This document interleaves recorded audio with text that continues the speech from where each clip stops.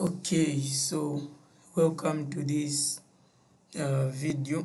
Basically i'll be doing the uh, class exercise for penetration testing 2024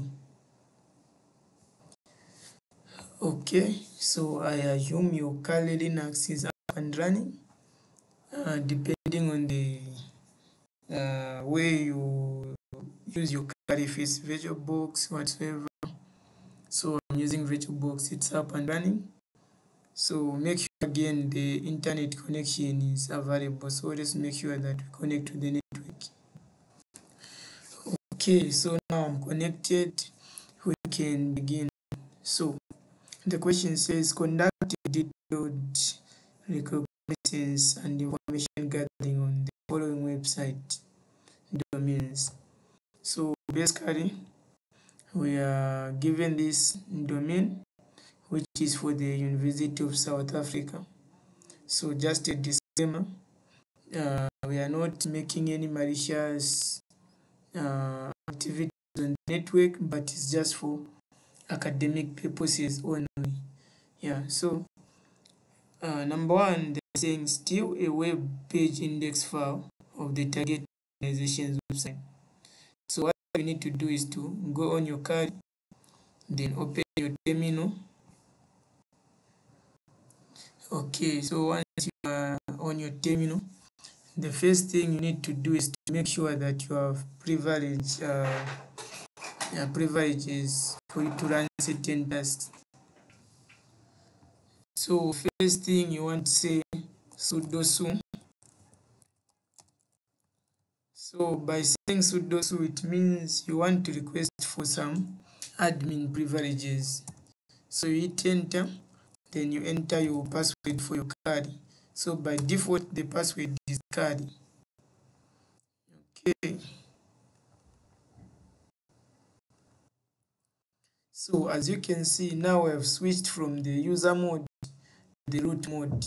So we are having something like a blue at Kali Kali, and now having something in red. So it means by doing that, you have the privilege uh, mode or privilege, privileges.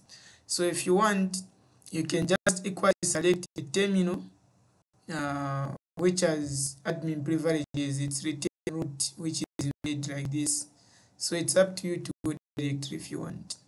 So let's now follow the question. Still a web page index file of the target organization's website. Since we're answered A, uh, all we need to do is say wget uh, wget then the website you're targeting which is www.unisa.ac.za so by running this command you are telling the I am telling your terminal that go go ahead and download the index file for this target website. So the command to use is wget. So you hit enter then you wait for it uh, start initializing until it downloads the index file for you. Okay. So if you are unable to retrieve the host uh, name that given address let's say up to bring back the previous command. Then let's get rid of that ww so that it can be wget unisa.zd then we try. So enter. Okay so as you can see the index file is being downloaded. So like uh, my connectivity wasn't that strong. So i'm back to kmu wi-fi as usual okay so once the index file is downloaded you need to check if the file exists. So say ls to list any file or directory in this particular directory or folder which is the home directory. So enter. So as you can see i have two index files so uh, just remove them both then i just remain with at least one index file for this example. So rm which means remove. So uh, after that the file you want to remove. So for example index uh, html so let me remove that. Again i repeat the same command. And this time around uh, dot one once all the files have been removed i'll try to list again. Then i'll check that okay i don't have any related uh, index.html file so let me repeat the command which is wget again for me to get the index file okay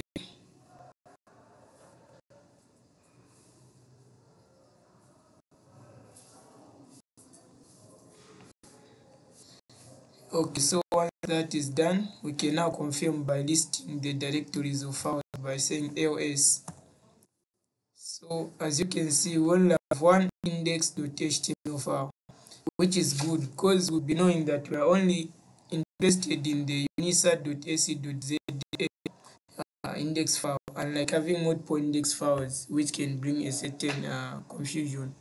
So let's go to question two so look over the index file. Paste a part of the index file on a separate word document.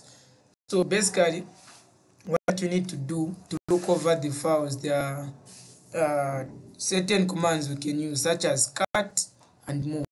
So for this example i'll use more because i know that the index file is too long for me to say cat. If i say cat it just give me the end results. But if i want to view some content i would say more for me to view a certain percentage. So i'll say more then space the index file meaning the name of the same index file which is index.html so if you say enter now you can see some part. If you continue entering the percentage will be increasing. Okay.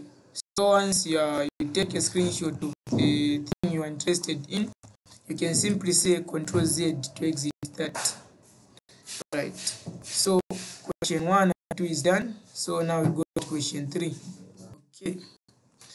Identify subdomains within the target index file using appropriate commands. So this is the index file we are talking about.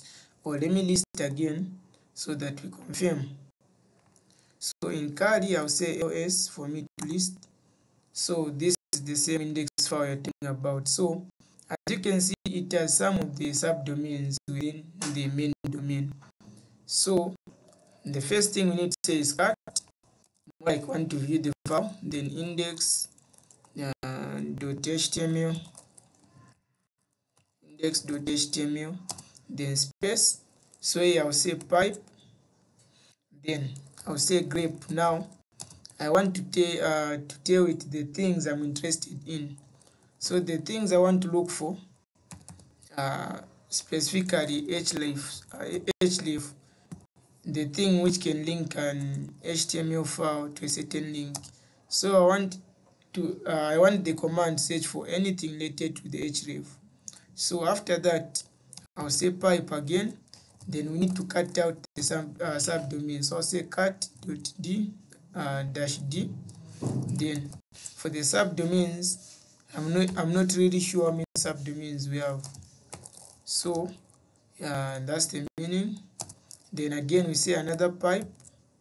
Now this time around uh, i'll say grep again. What are we looking for?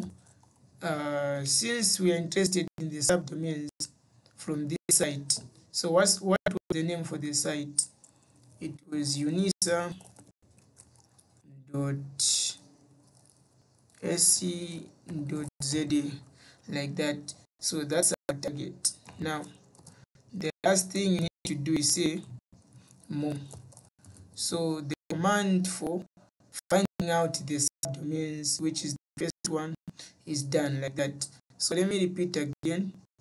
Cat index.html means you want to view the file then grep uh, href means you want to you want this uh, file you are viewing to concentrate on the hrefs uh, links or anything related to the href.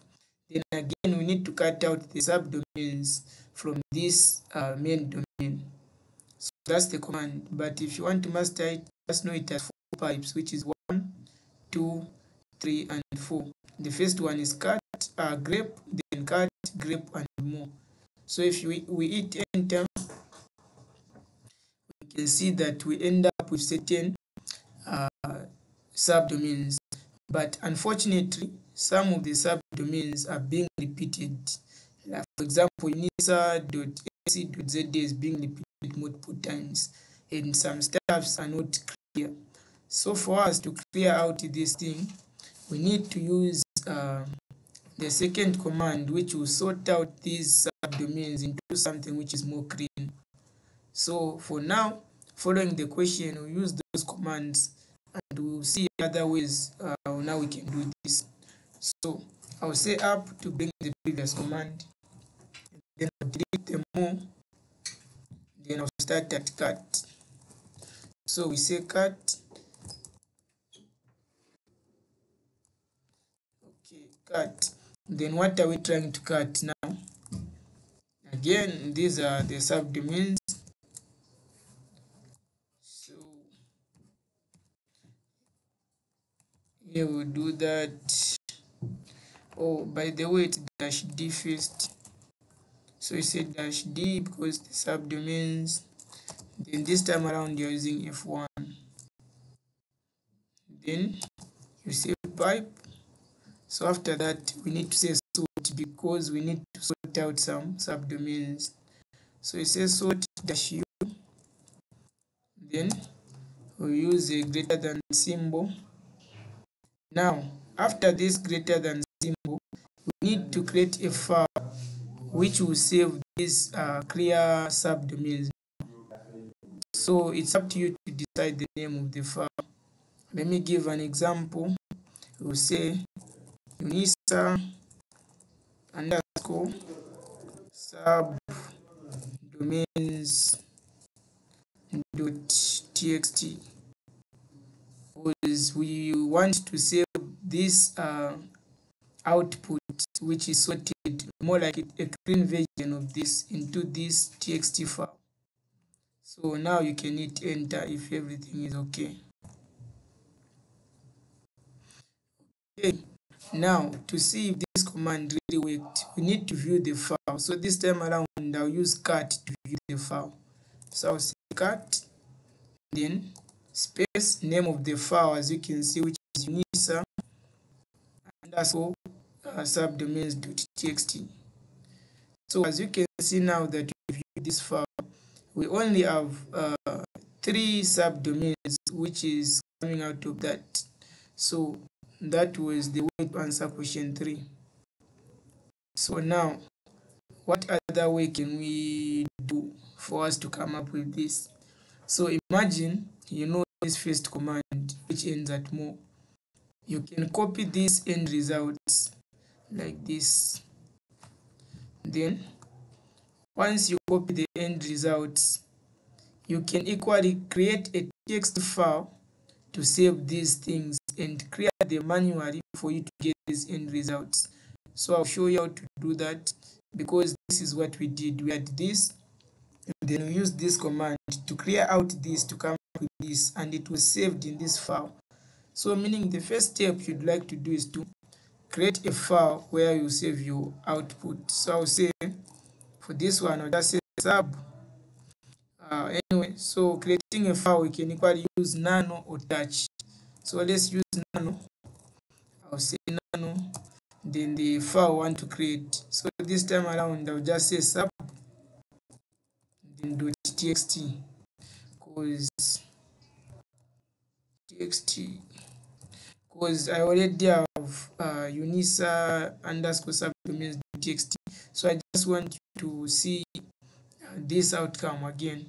So here I'll say enter then this window pop up so I just need to paste my selection then after doing that it's up to me now to analyze which files are being repeated. As you can see we have unisa.za which is okay. But again we have unisa.s repeated here. So I'll get rid of this like that. Okay. now this we don't want then as you can see that uh, mock.unisa.zk that's our first time seeing it. So I'll just leave it the way it is. Then again we have this one which is shop I'll leave it the way it is. Then the list because they're repeating which is unisa.ac.z I'll get rid of that so that we save our txt file like that. So we have cleared them manually then what we need to do is say control x then y enter to save. So let's see if we have this file which is sub.txt i'll say ls to list. So if we list we can see that we have this file which is sub.txt okay. So now we can equally try to view the file. So i'll say cat to view that file. So this time around the file is sub uh, .txt so if you view the file you realize that you end up with those same results. So this was just to show you that you can equally do this manually. So since we are not interested in this but question three was uh, using those appropriate commands which i've shown you already i'll just remove this file because it's not wanted for this. So i say rm meaning remove the, uh, the name of the file which is sub.txt so i've removed it. I'll say ls to confirm. So as you can see i don't have that file in this uh, home directory on my kali as a user. So that was the meaning. So now let's go to question number four. It says write up a bash shell script to find subdomains corresponding ip addresses. So now this same subdomains which is shop.unisa.ac.z and the following ones need to have a certain corresponding IP address. So I'll first use bash shell script to prove that then we'll do a manual work again to come up with our own IP addresses. Okay, so the first thing if you are talking about bash scripting you need to understand that you need to know which uh, which shell you are using first. So the command to say is which more like you want to find out something or to find a certain location. Then you say dollar sign uh, capital letters shell so you are asking your terminal like what shell am i using? So it's like which shell so if you hit enter you see that you are under your user which is correct then slash bin slash z shell sh is for shell so with that information you can tell that you're not using bash shell. So we need to make our own bash shell. So the first step is to come up with the name of the file which will represent the shell. So for example since the question talks about subdomains i will just call it uh, that subdomains like unisa underscore subdomains then we'll make it a shell. So i'll say nano to create a file. So let me use small letters nano to create a file. So the file i want to create is unisa then underscore subdomains now this time around won't be txt but it will be a dot sh to represent shell as you can see for z shell i said z shell because it was sh meaning shell so nano meaning let's create a uh, this file which will represent a shell as you are seeing. Then you hit enter. Now uh, if you saw the previous way or now the shell was written it was user slash bin slash z shell so we need that format uh, again. But this time around we use uh, hashtag exclamation mark slash now we follow up bin then slash. Instead of saying z here we say bash because that's the shell we want. Dot sh we already have it uh, under this same file as you can see dot sh so meaning this is the shell but what shell do you want? It's bash. So this is called shebang so i'll hit enter. Now uh, under networking what you need to know for bash scripting is that always start with for dash in dollar sign open brackets whatsoever. So what we mean is that okay so you say for since our target this time around is the urls the ones we saw. So we say for url in dollar sign.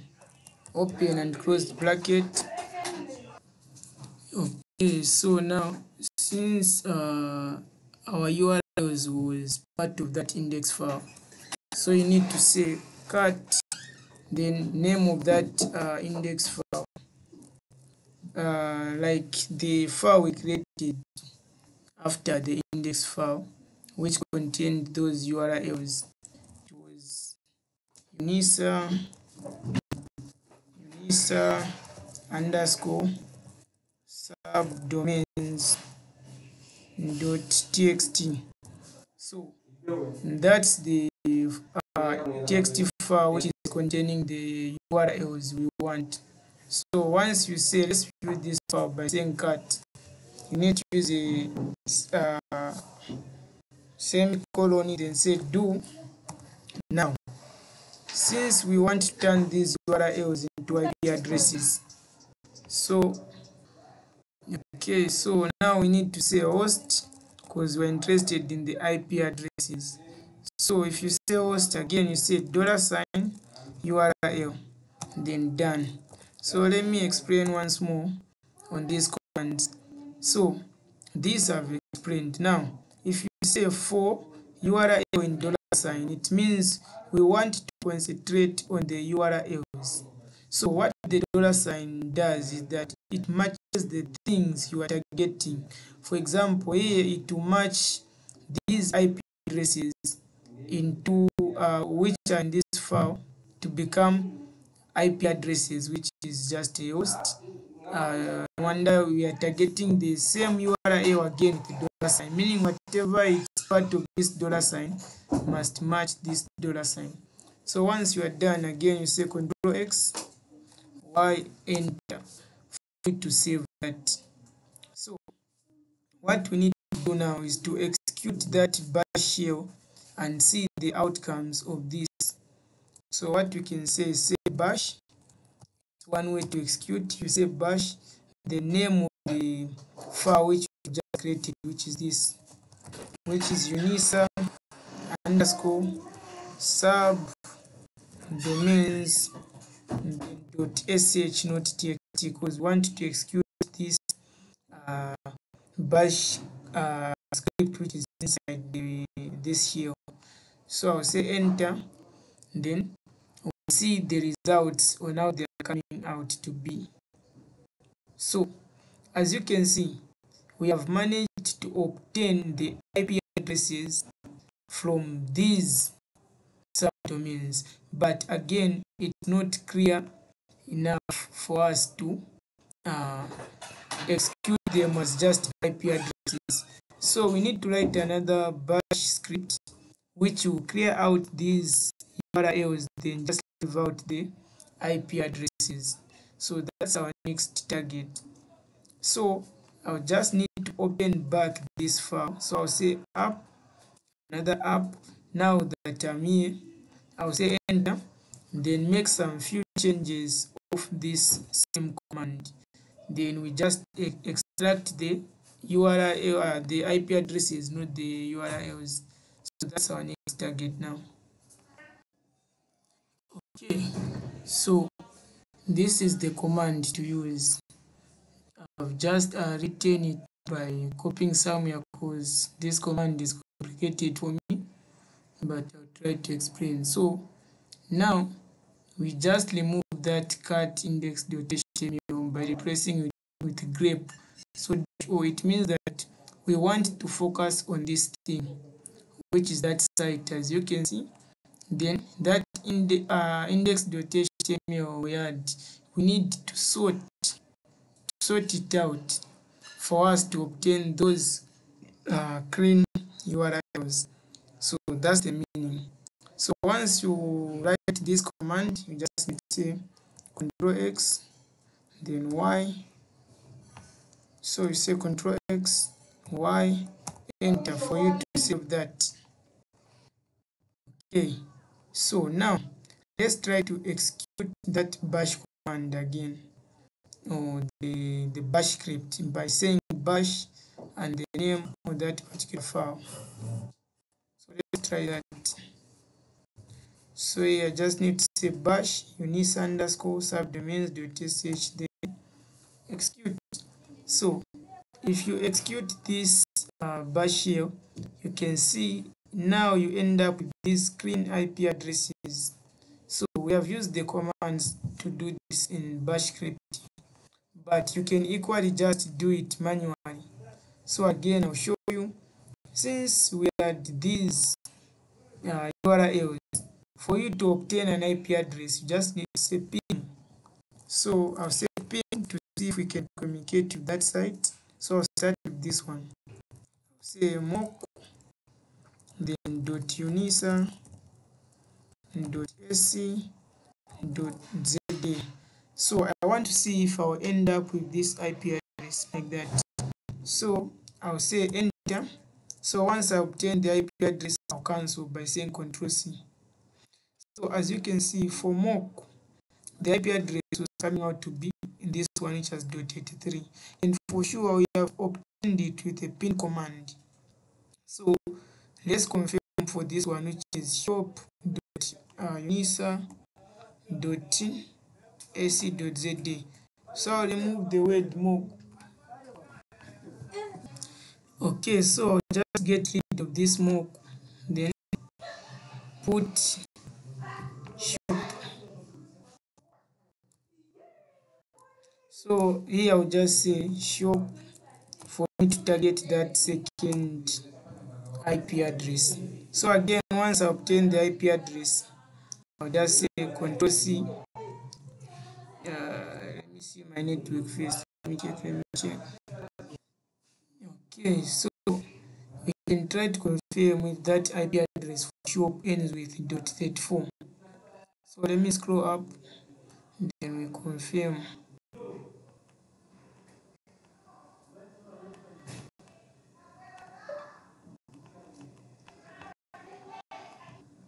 So as you can see for sure it ends with dot 34 so now we need to try out the last one which is for just www.nisa.ac see if it ends with dot 55 so i'll remove that shop then say www like that.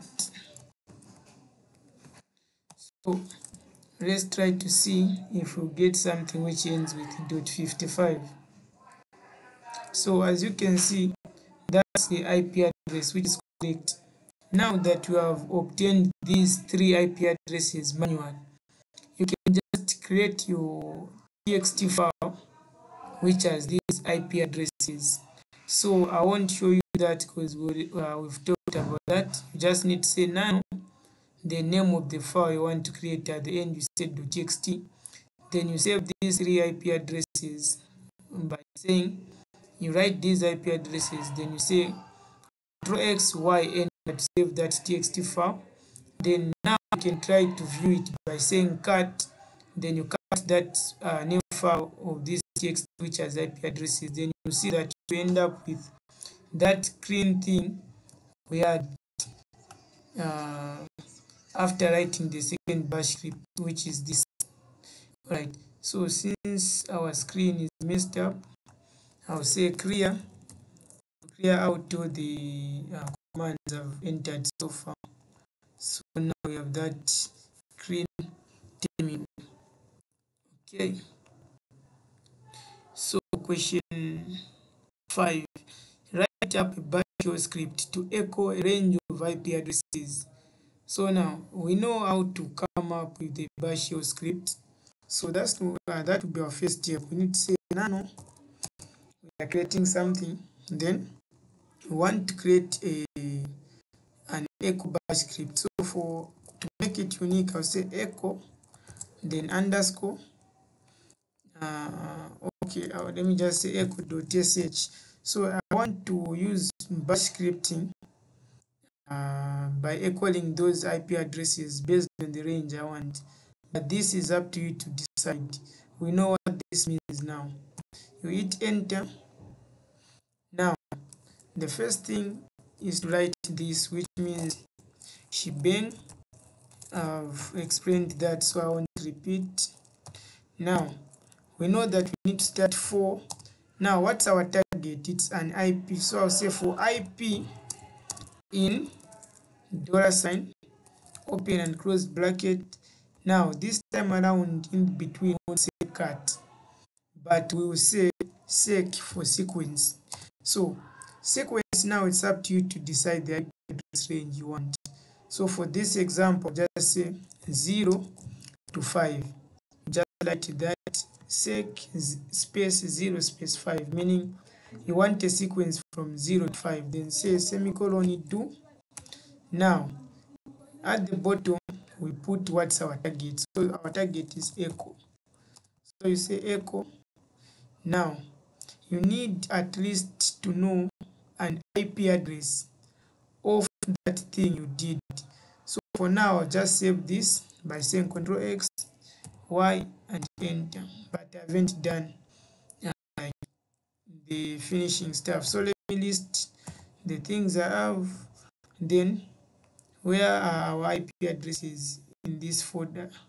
So I would like to view uh, to I would like to run that bash script which has the IP addresses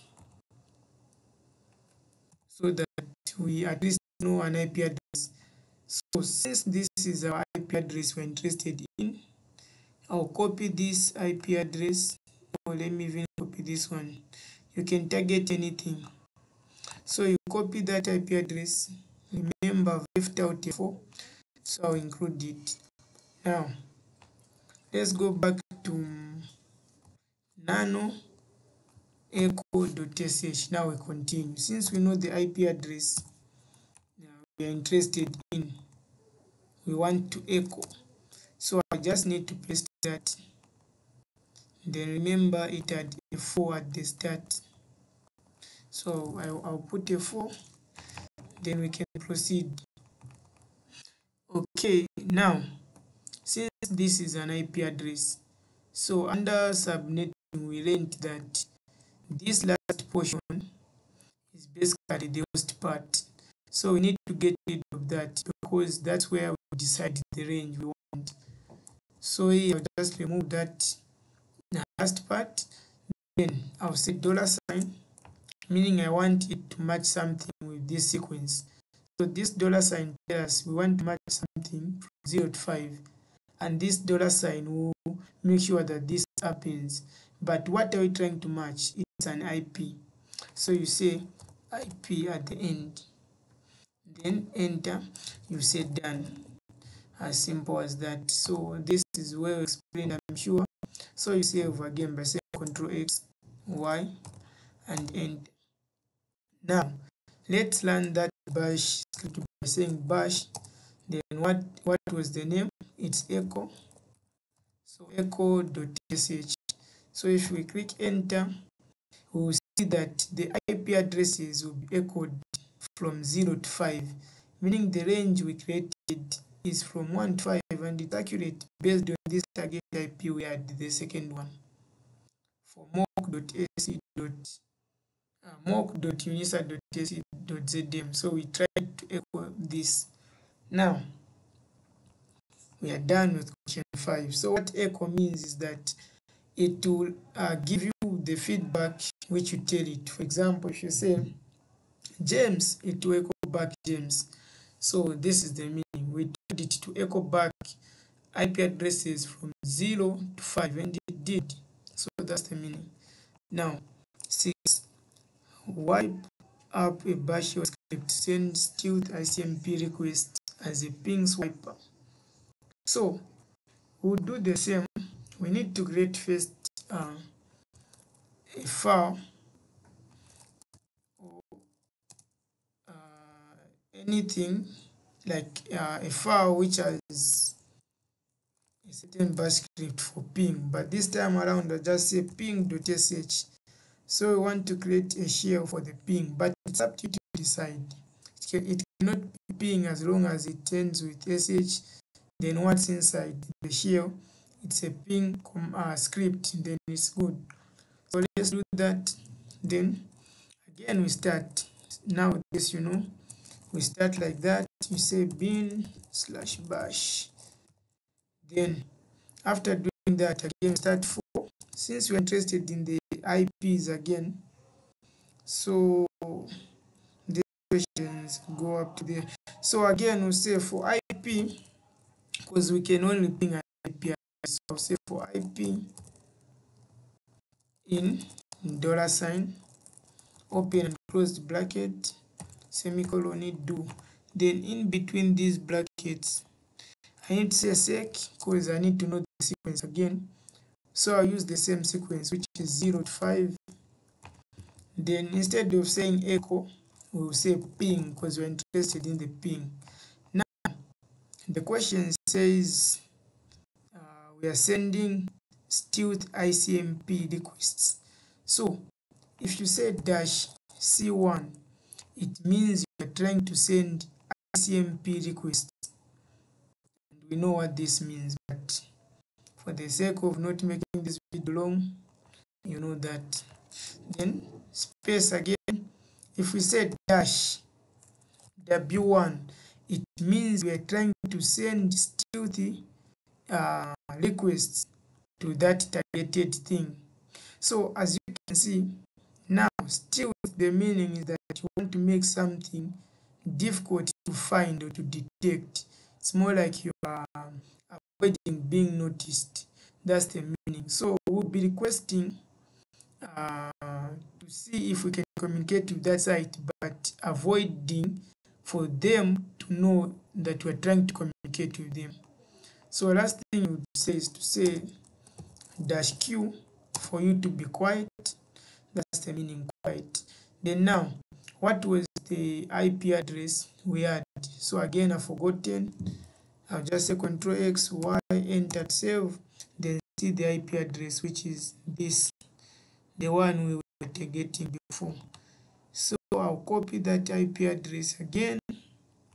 Then go back to my nano ping.sh then i continue. Now here i'll need to paste that ip address. I want to ping. Remember we are not pinging an ip address but a bunch of ip addresses because of that range. So again at the end remember we said we need to remove this worst part then say dollar sign ip meaning we want to match this uh, ip address range from 0 to 5 that's the meaning. Then since we are done now understanding and writing this just say done then you uh, end now here we say control x and y enter save. Then we try to run this uh, this script we have written which has a ping like that ping.sh so if you that it will start sending packets uh, on those five targeted uh, IP addresses with uh, the intent of avoiding notice. So that's the meaning. So we are done from question 1 up to 6. What you need to do now is to repeat these same stages for any selected website of your choice. So mind you, those targeted website you'll be using, you need to make sure that you can download the index file. The index file was subdomains for you to carry out everything. So if that's not the case, keep on searching till you find it. Okay, so this is Coach James representing KMU Cybersecurity Tutorials. See you in the next video.